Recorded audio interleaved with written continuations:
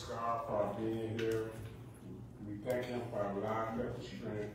We're gonna go open up this this morning and ask someone to get a song and someone to put us.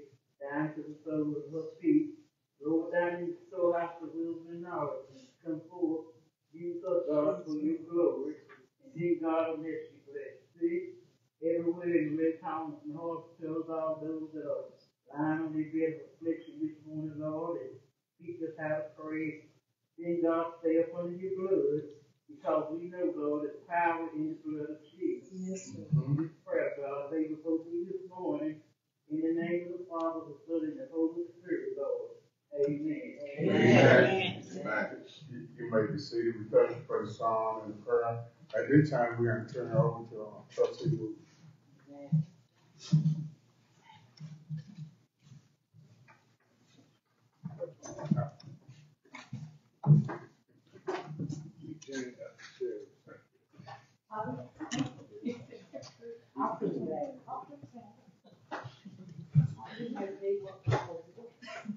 morning, everybody. Good morning. Our lesson for today is from uh, the book of First Thessalonians, the second chapter, verses 13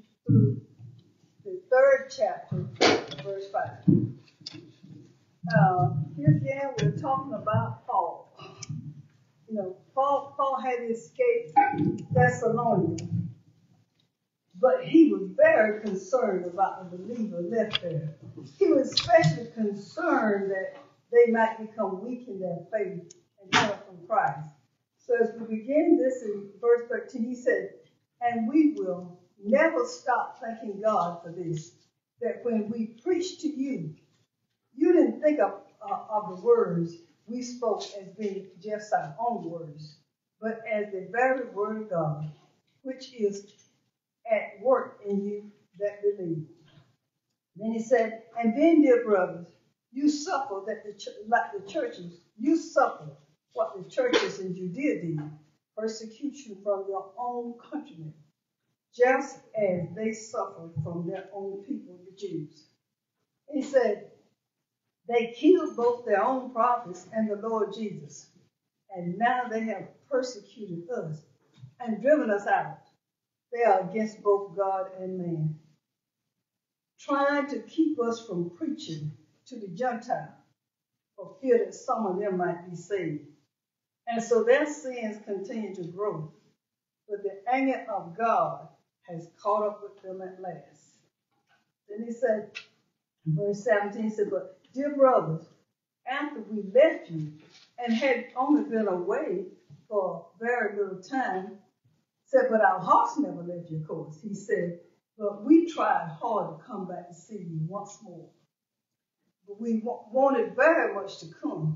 And he said, Now, Paul, I tried again and again, but Satan stopped us.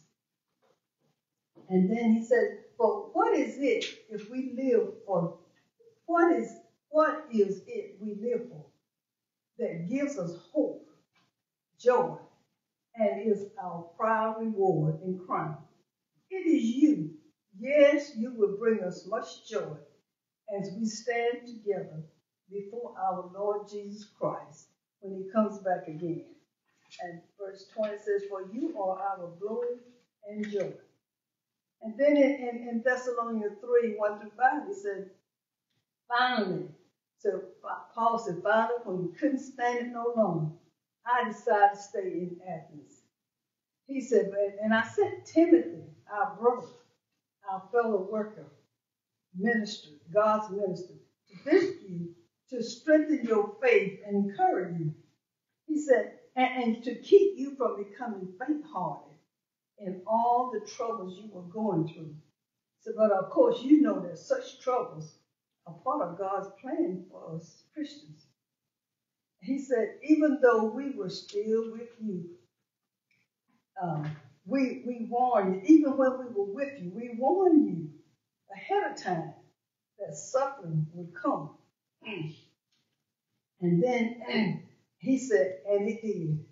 And then it says in verse 5, he says, Paul said when he could not bear the suspense no longer, he sent Timothy to find out whether your faith was still strong. He said, I, I was afraid that maybe Satan had gotten the best of you and that all our work had been in vain. Now, when we look closer at this lesson, it, it begins with Paul giving thanks uh, to the Thessalonians. He's praising their reception to the teaching. First thing he, he says, when we were teaching, you didn't look at us just having saying some words, just shooting off some words. But you listened and you took it in. And he was thanking them for their reception to the teaching of Christ and their faithfulness despite the Jewish opposition. Now, and he's grateful that the gospel that he had given others, that he, the gospel that he and others had given to the Thessalonians, you know, had been received, had been heard, and been acted upon. And, and that God's word is now at work in you. He said, whatever, you know, whatever the importance of the apostles and their labor, whatever it was, God is now at work in the Thessalonians themselves. And it's kind of like when we were in the in the ancient time, people went through the uh, priest, but now they can go directly to God. So th- with the Thessalonians, God is at work among them in themselves. And, and you know, the, the apostle had been and will continue to be important for them. But now God works among them directly. Now, Paul assured the Thessalonians that God trusted them to carry the message. And he told them, he told them, he told them the message preached to them was not just their words. Paul said, no, it ain't nothing we making up. We are messengers of God. And this is what God has told us to tell you. He told them he preached to them, the message he preached to them was just was not just their words, but God. He said, you paid careful attention to the way we live too. He said, now, we didn't just come here and just talk to you and preach the word. We lived the word. You saw how we lived. You watched how we lived in community. And, and that gave you confirmation that we were messengers of God. You know, as believers, sometimes the more, you know, we, we might could be more effective if we were humble. If we were humble and, excuse me, we might be more effective if we were more humble. You know, instead of talking to people as a friend who's concerned about their salvation, and and sometimes we talk rough to people, like uh, we're up there and they're down here. And when you do that, you turn them off, you don't get them no more. Very seldom do you get them anymore. You can't get their attention anymore because the way you present what you had to say may have been great and it may have would have helped, but you got to also know how to present it. And that has a lot to do with how we do sometimes. And so when we when we do that, you know, we need to be humble. We need to ask God for guidance. That's why staying in close contact with God will show us how we can, how we're supposed to talk to somebody, how we're supposed to work with somebody.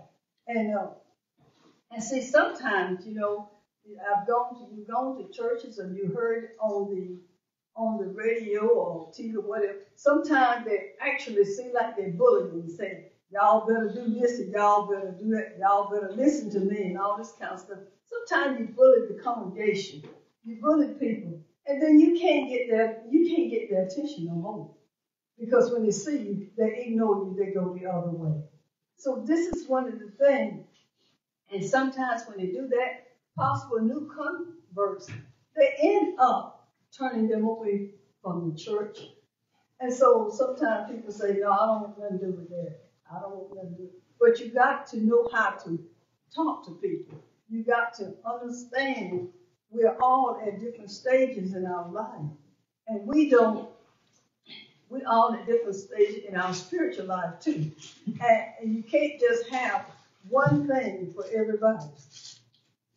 So what he said, but Paul didn't do that. Paul and the uh, and, and the missionaries didn't do that. You know, and, and sometimes we're not effective also because people look at our lives and people look at our lives and they see they hear us talk the talk, but they don't see us walk the walk.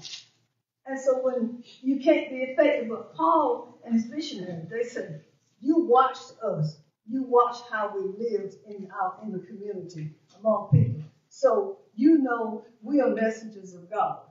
The, the word that we say is word from God. And he says uh, we are we live what we talk about. and and sometimes you like see someone is always watching, no matter what. It may even be a child, but somebody is watching. And somebody may decide to follow you. And, and then and Paul and, and, the missionary, you know, they would run out of town. The strong, you know, run out of town. The strong between the strong bond between Paul and the church was like between a, um, a loving parent and, and a um, beloved child. And, and it made a separation hard on Paul. He did not want to leave them, but he, you know, they were attacked and they would run out of town because the people, some people did not like what he was preaching about. They didn't want to hear that. And so um, they ran him out of town, him and his group out of town.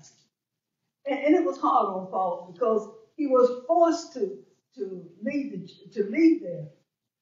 And he didn't want to. He had some other things he wanted to talk to him. But he had to go. Physically, he was from them, but his heart was still there with them.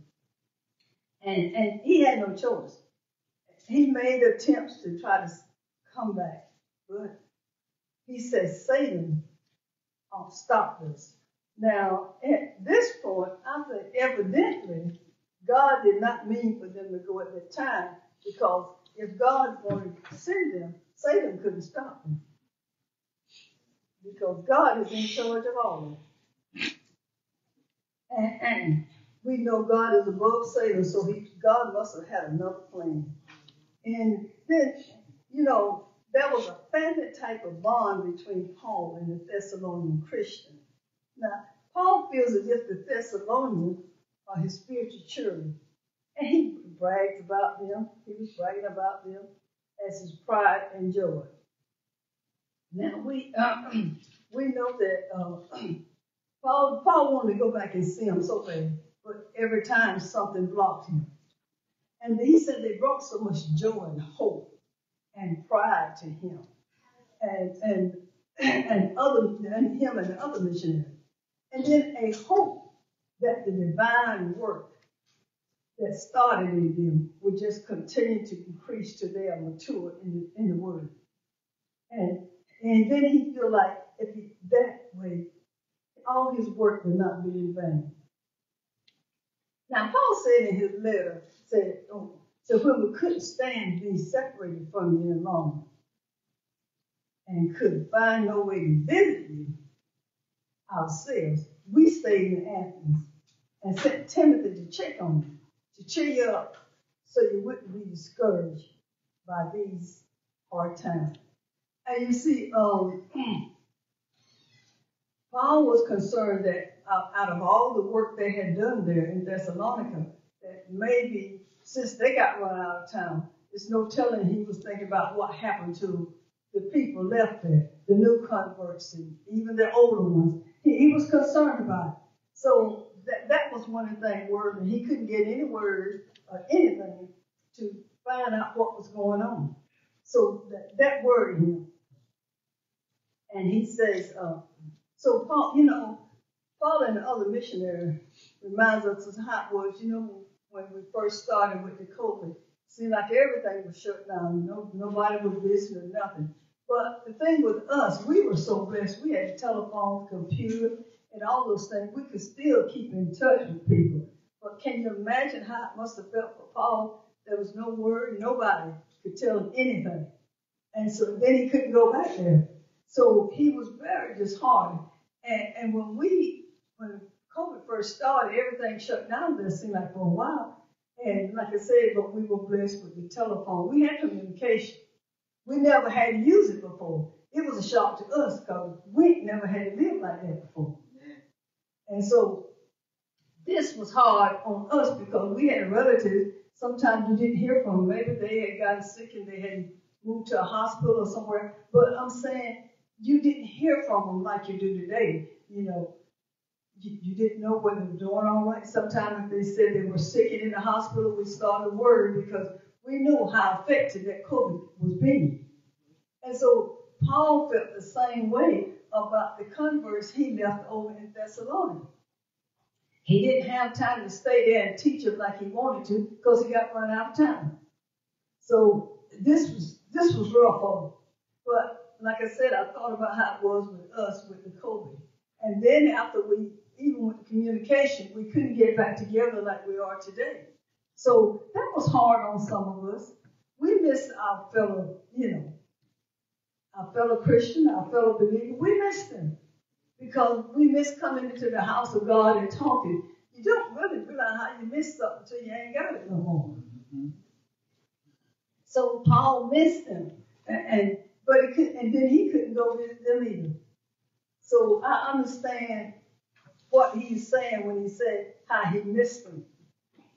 And he was so happy with the progress report he got from Timothy. He said uh, um, in verse 6, which is not part of our lesson, but it tells me that that's the long he said, Now Timothy had just returned, and he brings welcome news that your faith and love are as strong as ever.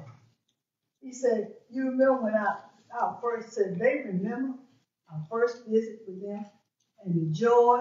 I want to see them just as much as they want to see us. So it's just that when you have to, when you're away from some somebody or people that you like, that you love, that you used to be around, it's hard. So this is how it was with Paul and the missionary. And he was, you know, he felt the same way when we feel the same when we prayed. Uh, you know, another thing, Paul had Paul had gotten to preach the word. People had come to Christ, and then you know, it's like he got it going on, and, and then it then he got run out of time. So you know, when you look at it like this, just like we do, you know, when you talk with someone and, and you try to help them come to Christ and all that kind of stuff, you see them later on. Isn't it wonderful when you see they are still on the battlefield? You say, Lord, I must have done something right. Uh, I'm, I did this, or here they are. They are still out there. You make you feel good. And that's the way Paul was. He was so happy when Timothy came back and told him, said, they are still going. They're still in the faith. They still got it going on. Oh, Paul was very happy. Then he really wanted to sell. But he was glad of that report from Timothy. And, and so he said, uh, and see, when Paul, because some things we can learn from Paul, like for instance, um, he said, um, you know, Paul addressed his Christians as brothers. You know, all over that he would say brethren, brothers, or whatever. He not claim like he was superior over them. He didn't act like he was higher than and more important than them. He he talked to them as a brother to brother or sister to sister. And this is one of the key things that we could be more effective if we learn how to do that. And, he recognized, see, Paul said, Paul come a long way. He recognized the quality of all the redeemed in the sight of the Heavenly Father.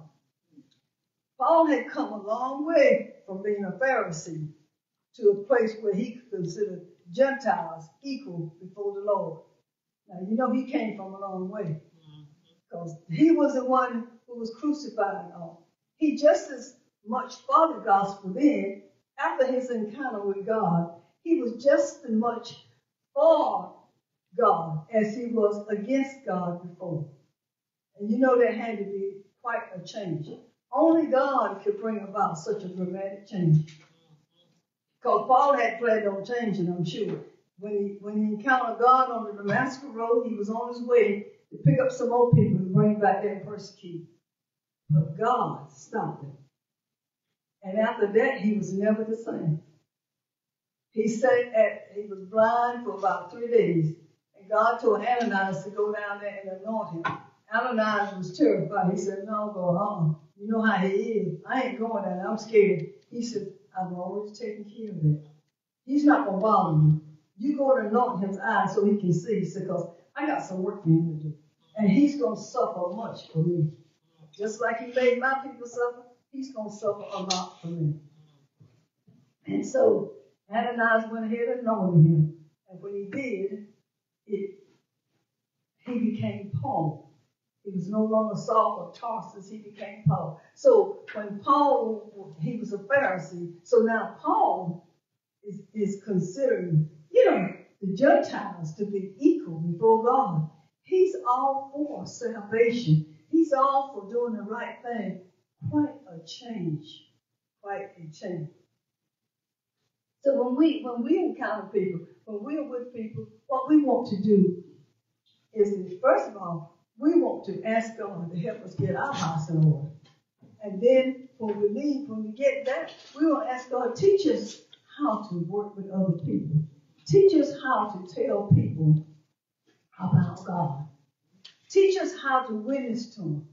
And by all means, let us walk the walk. You see, sometimes I see you in church in one way, but when I see you outside church, you're another way. That's confusing. That can be very confusing to people. So you've got to walk the walk. If you're going to talk the talk. And you got to think about somebody is looking at you.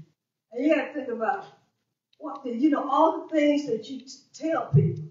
It's kind of like a situation I had, I, um, all the time, you know, I love that song about when, it, when the waves are over my head, it's under God's feet. So this, this week I was dealing with some situation so I had to remember. I said, okay, it doesn't over my head, so it must be under your feet.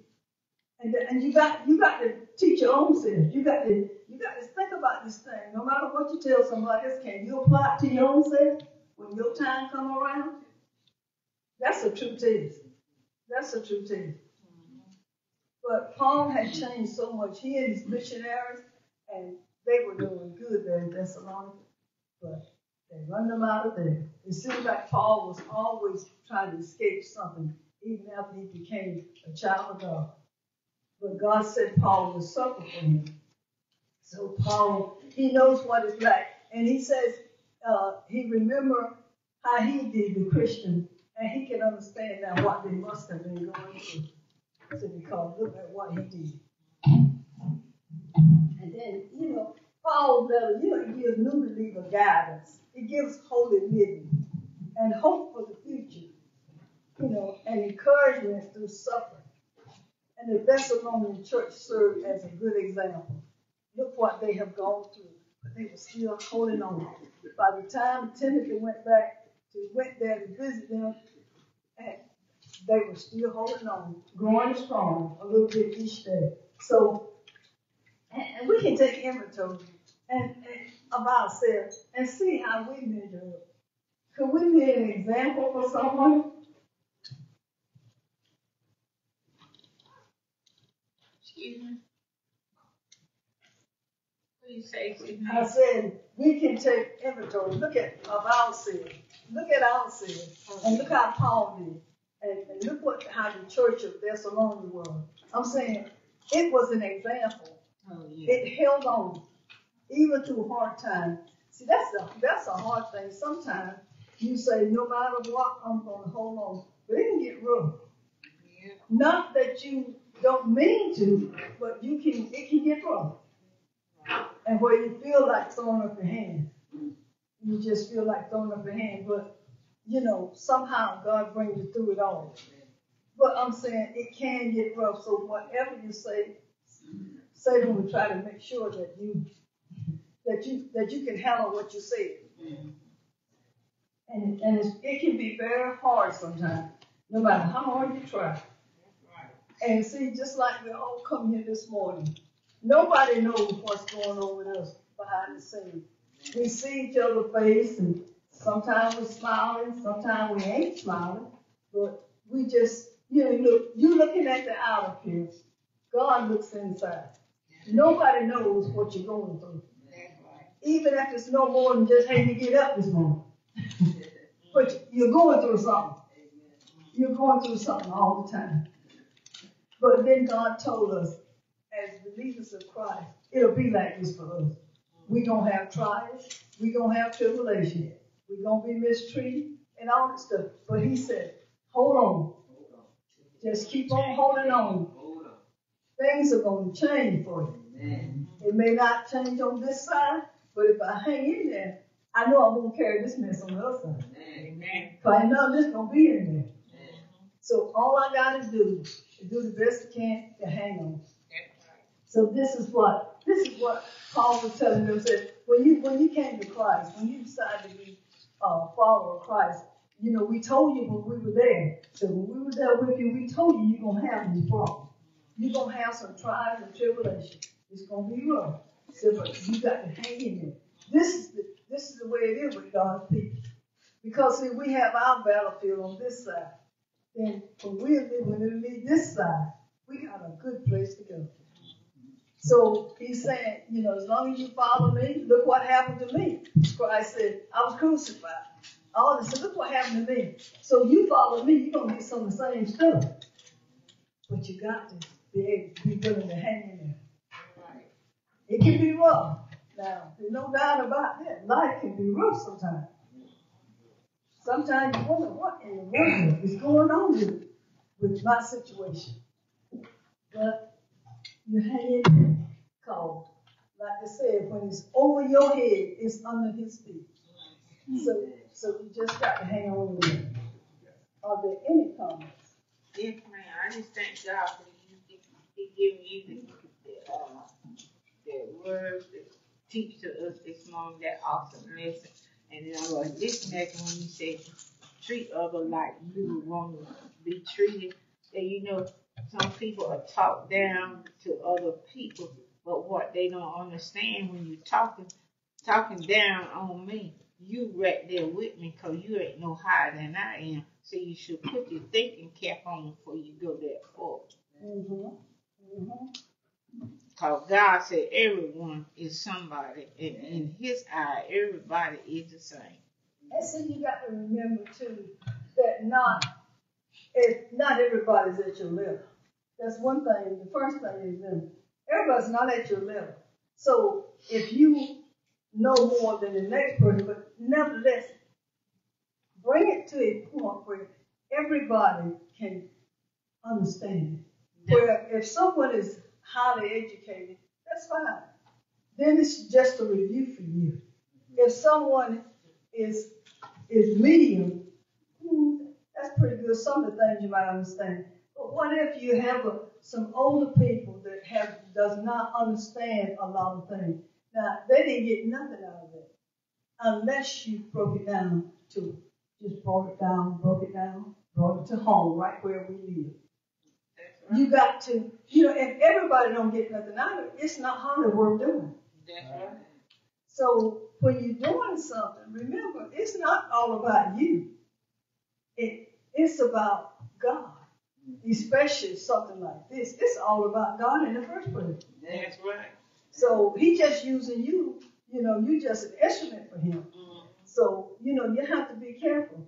I don't care how many words I might know or something, I don't need to use them. It doesn't help me. It doesn't make me any more popular than I am right now. And that's not. And that's not. So why would I need to build myself up? Build the Lord up and he'll take care of whatever I need to have. He the only one knows. And, and we all need to stay loyal and honest of God to be able to use us. Oh, yeah. That's the only way he can use us, mm-hmm. if we, if we're humble and we're teachable, Yeah, we're reachable. that's right. And that, that's what he's looking for. Mm-hmm. And this is what Paul was telling, you know, talking about, you know, they didn't try to be no up, even though God had given them the word to take to the Thessalonians. It didn't bother Paul. He wanted, he wanted converts. He wanted to see people change, come to know Christ. He mm-hmm. didn't care about anything. Remember, and one, I can't remember exactly where it was, when Paul got in jail one time, the people were saying, okay, he was preaching, now he's in jail, what's he going to do now? And Paul said, I don't care who preached the gospel as long as it be preached.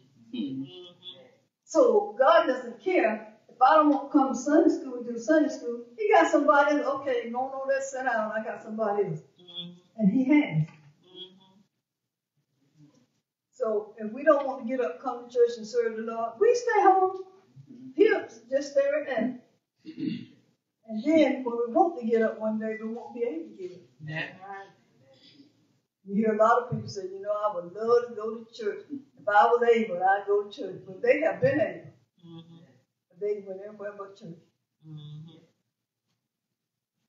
So we have to be careful how we live. In fact, we have to decide we're going to live for God. We're going to live so God can use us, as the song says, anytime and anywhere. Mhm. That's the only way you can be ready.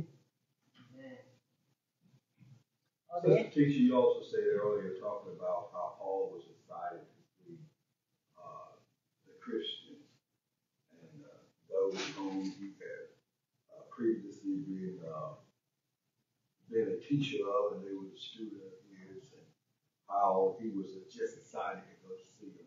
You know, I, I- wish we had that excitement in the church for, for one, for one another.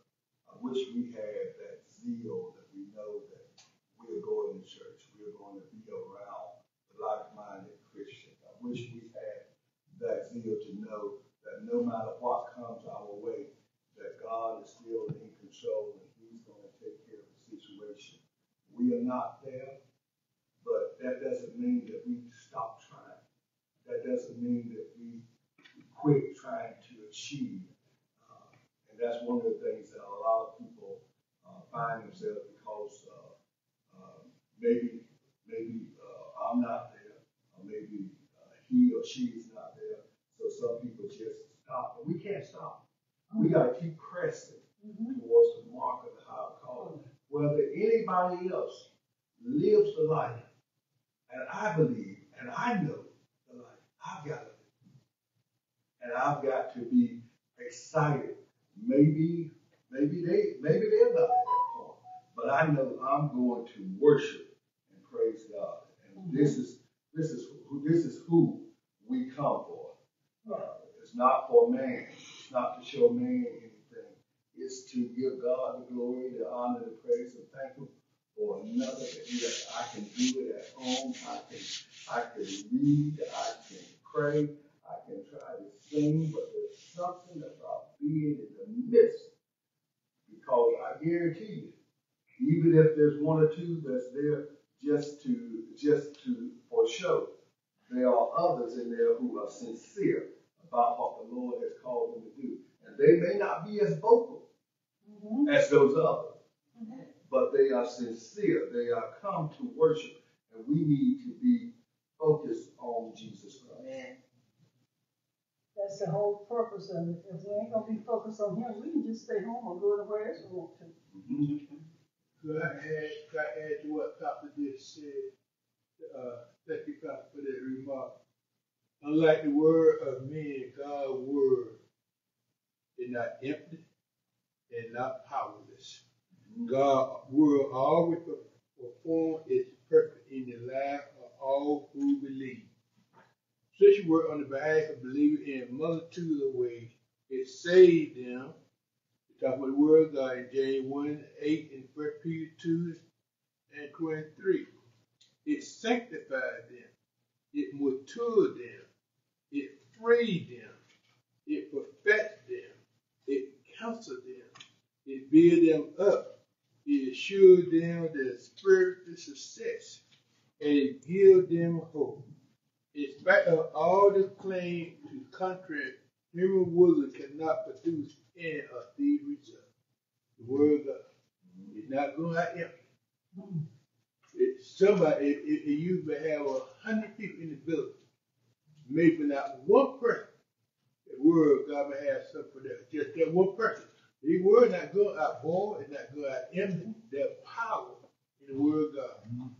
Not in what I say, or uh, man say, but there's power in the word of God. These are things the word of God will do, regardless of what you're going through. Right. He And said, it's what Paul was there. You know, it's amazing he wasn't there but less than a month.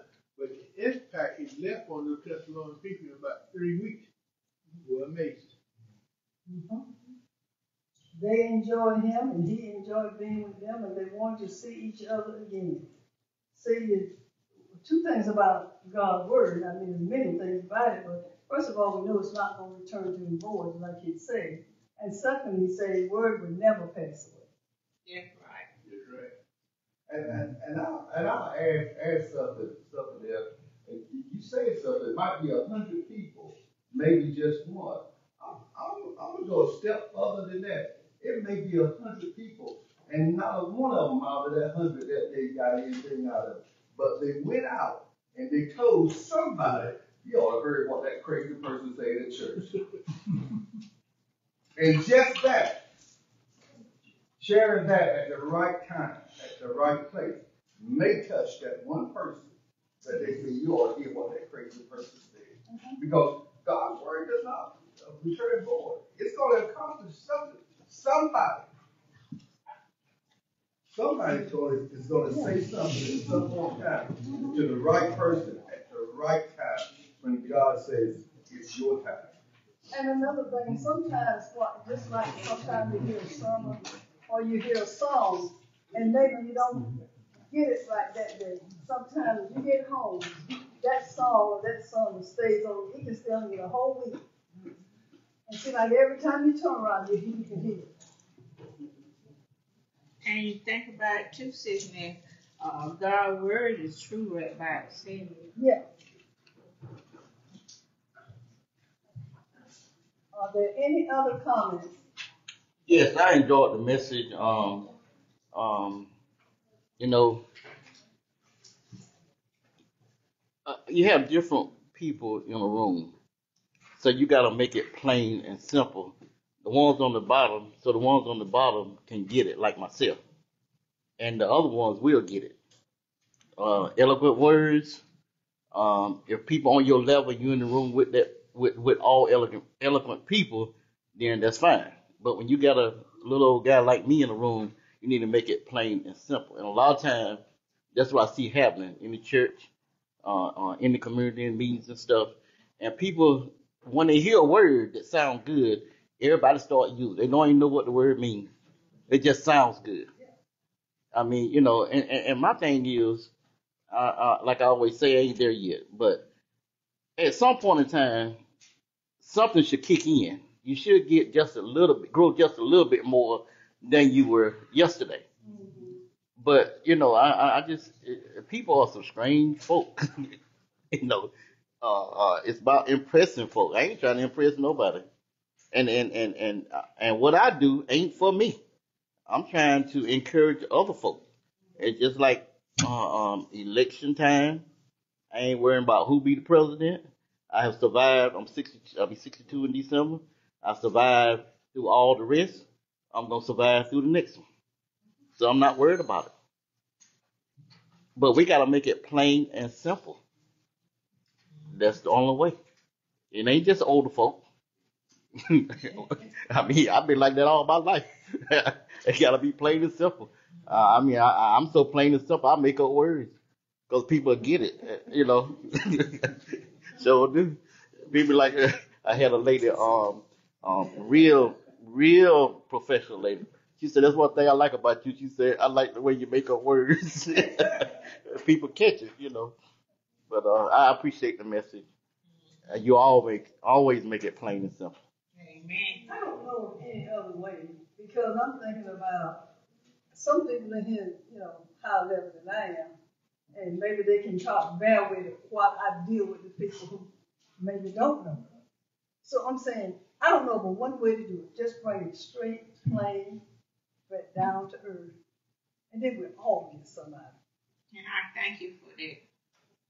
Thank God too for letting you do that. Yeah, that's the only way I know to do. Let us be plain. So, you know, just don't have time to be playing around with words and playing around with anything. It's too late. The sun is almost out. And we don't need to make up words. You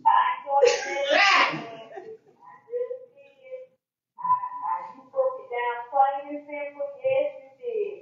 Uh, but I beg you to keep it understanding, so I appreciate the word this morning and, I'm on my way to church, so thank you so much for the message. Blessings to all that are on the call today. Thank you.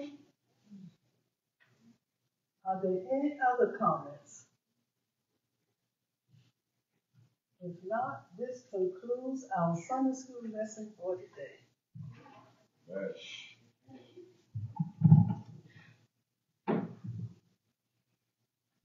Thank you.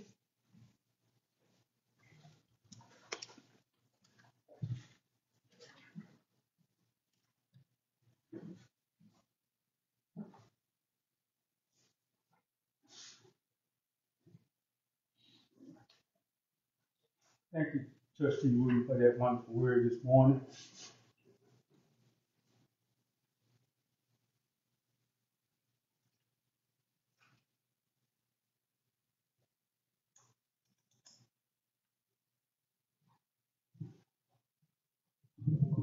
Thank you, trustee William, for that wonderful word this morning.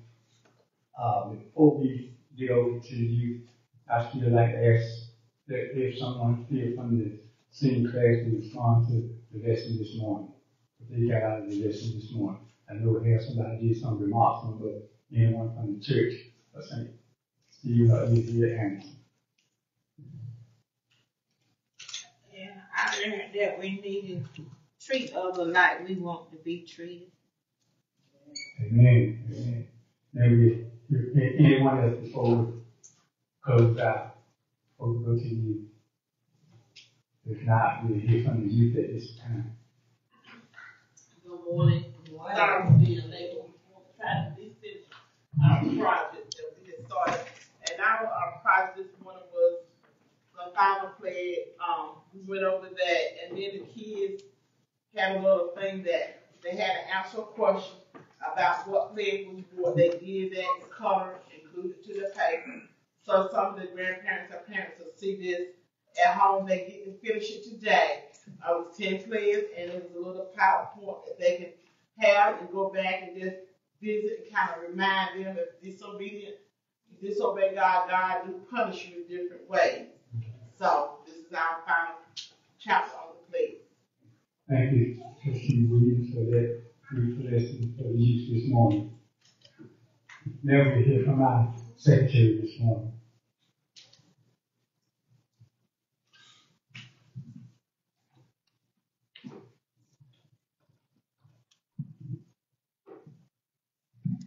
Morning. Morning. The minutes for the Anderson Chapel and St. Stephen's Sunday Church School for July 4, twenty twenty-four. Sunday school was called to order at ten o'clock by Deacon Ray May. Opening song was Near the Cross by Mother Barnes. Prayer was given by Reverend Faison. Lesson topic, Hope in Christian Fellowship. Background passage, First Thessalonians two thirteen through three five. Key verse, we also constantly give thanks to God for this, that when you received the word of God that you heard from us, you accepted it not as a human word, but as what is it really is, God's word, which is also at work in you believers. That's from First Thessalonians two thirteen. The lesson was reviewed for forty-three minutes by Trustee Wooten. Remarks were given by representative from the classes. Attendance is nineteen, offering is fifty dollars. The weather is hot. All officers remain the same. Sitting Secretary, Sister Lois Lewis. Thank you this morning for the. Are there any correction on the minutes this morning? If not, we will receive the minutes that have been read this morning. We thank Mother Lewis for those minutes this morning. So we gonna just stand and close out with the word amen, and we're gonna turn over to the way for the devotion this morning. Amen. Amen. Amen.